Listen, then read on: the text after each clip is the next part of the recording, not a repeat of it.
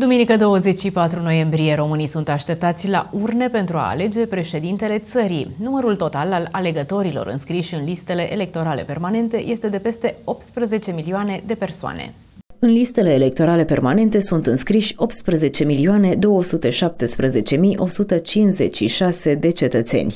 Numărul total al alegătorilor care au dreptul de vot interzis este de 19.215 persoane. Numărul total de cetățeni români cu domiciliul în străinătate care figurează cu drept de vot la acest scrutin este de 715.752 de persoane. Numărul total al alegătorilor români din străinătate străinătate care a optat pentru votul prin corespondență prin înregistrarea pe site-ul votstrăinătate.ro este de 35.917 cetățeni. Numărul total al alegătorilor români din străinătate care a optat pentru votul la secția de votare prin înregistrarea pe site-ul votstrăinătate.ro este de 33.802 cetățeni.